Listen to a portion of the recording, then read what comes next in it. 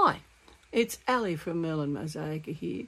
Over the years, I've had a lot of questions about how best to work with the Litokol Crystal Starlike Evo or translucent grout. So today, I thought I'd show you how I've used it in this koi drop piece. So without further ado, let's go. I already measured out the um, quantity that I've got that I need. Um, I've got a couple of things to do. And so what I've chosen to do is mix up around the 200 grams. Now I'm just... So the first thing I need to say is your pieces need to be clean and dry. So this is an old piece I did some years ago. I didn't know about translucent grout at the time, but I've cleaned it and dried it. Um, and I've also got the koi fish. So that's what I'm going to do first. Um, I have a bucket of water handy and it's clean. And I have a scourer, sponge and another one in reserve. So I'm just going to get to it. So I just plonk it on any old towel. I tend to like to use my hands just me. I do it with any grout, um, even though these are great um, and I do do like them. I just, maybe it's just harking back to mud pies. Oh, I don't know. Now, it is very important to make sure that your gaps are filled because if you notice once you've started cleaning that there's some gaps, you have to wait then until the piece cures before you go back and fill those because it has to be dry before you add more grout in. Otherwise, um, you can introduce a fault line. Now, you can add more grout before you start cleaning, but um, so I do recommend mixing less rather than more now, I've mixed a fair bit because I have a large tub and I know it's getting to the end of its life. So I feel that I can be a little bit more generous. But with normally, I just suggest to people that they err on the side of caution because it's not the cheapest product and I'm quite aware of that. Now, as you know, this piece has two sides so I'm not going to grout the first, the second side straight away. I'll probably, I'll see how I go. I might. But I'm just trying to make sure that I have filled every little thing. And I think that looks pretty good.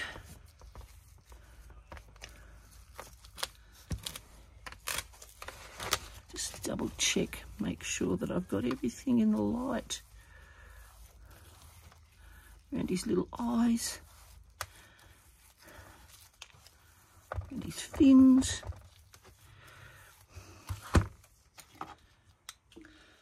So now I'm moving on to my flutterby or butterfly flutterby butterfly which I did some years ago.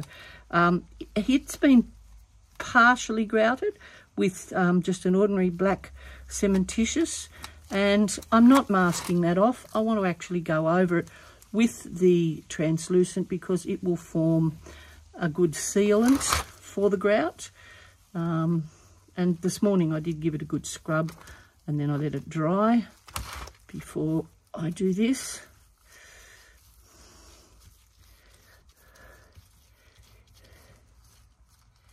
And as I said before, I'm just going, making sure I've filled all the holes, all the bits.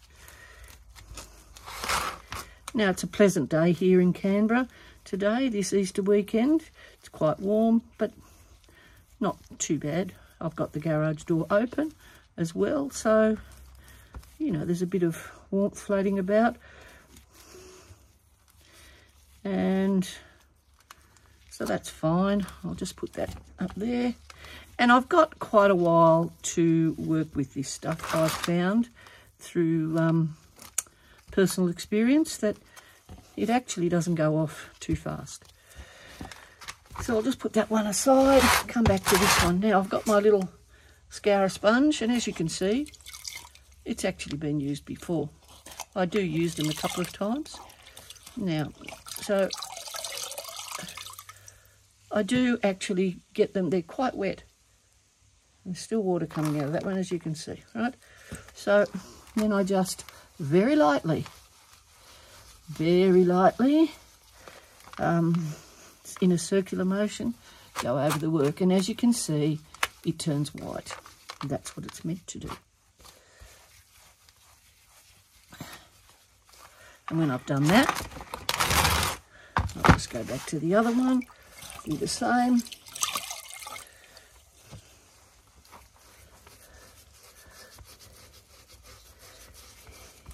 This is going to be interesting to clean up because there's so much textured glass in it. But again, I'm not too concerned. It tends to come out, I find, pretty easy. Um, having said that, I'll probably eat my words in a while because this is a granitized one and they're pretty dreadful. And I'm just taking the muck out with my finger. So I don't want a huge amount there.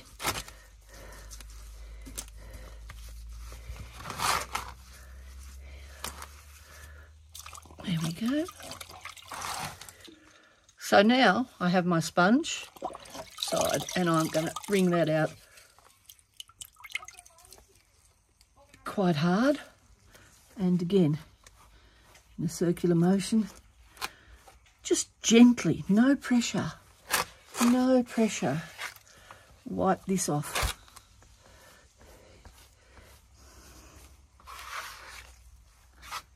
And rinse frequently.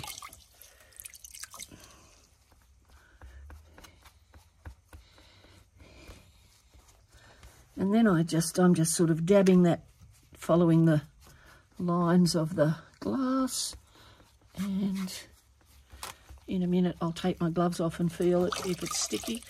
But not just at the moment I'll do the other one first. And so I'll put that one aside and bring this one back over? This will be fun.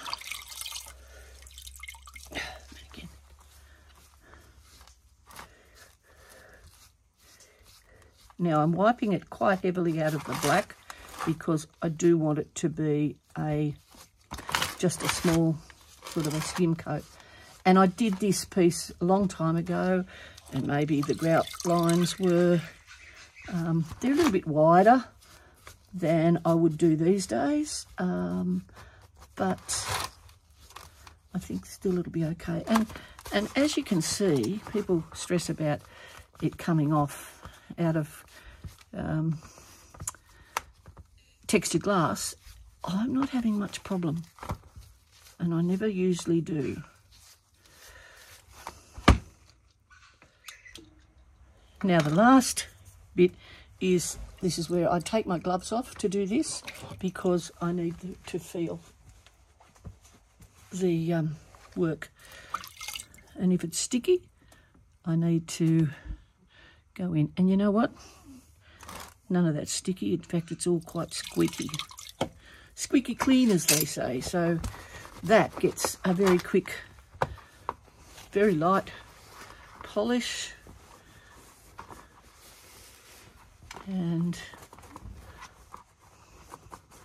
I'll just again check it with my hand. There's no stickiness on there anywhere. Nowhere, no how. So that piece is done on that side. Now, let's see what this one's going to be like. This is going to be fun.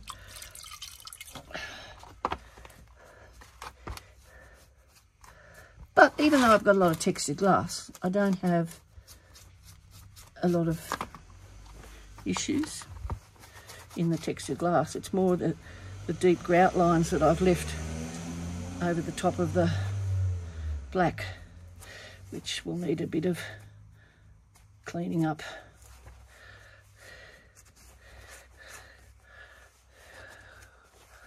I mean, this was also grouted with much wider grout lines than, um, so, so this grout in this case will probably end up looking mm, a bit cloudy. And you can see that, yeah, I've left quite a bit of depth in the black there, which, you know, I probably should have regrouted before I did this, but I didn't. That's okay.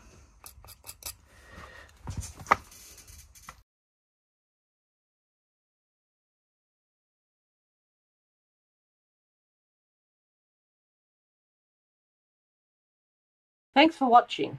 If you liked, don't forget to hit the like button down below. If you want to hear more, don't forget to hit the subscribe button. See you next time.